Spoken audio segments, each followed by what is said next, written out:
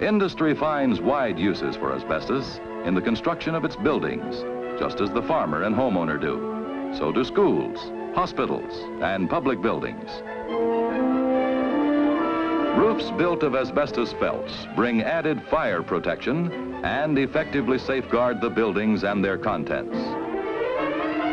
Asbestos cement exterior walls provide the freedom from maintenance that building owners want.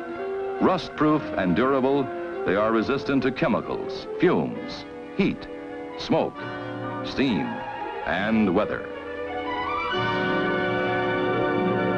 Inside the building, asbestos movable walls make it possible to change space layouts without a costly loss of time and with complete salvage of existing materials.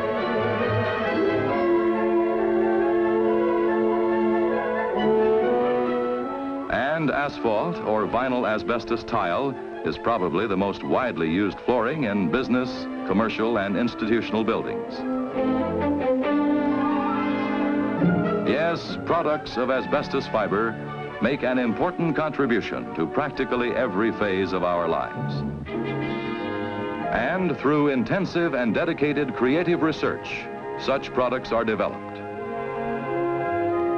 Here, the scientists, technicians, and other workers have at their service modern aids to scientific research, tools to enable them to find still newer, better ways for asbestos to serve mankind.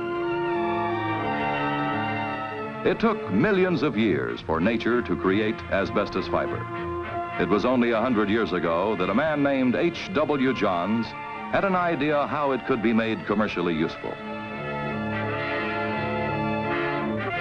This is how that idea has grown, from one man to thousands of men and women, to mines and factories in the United States, in Canada, and across the sea.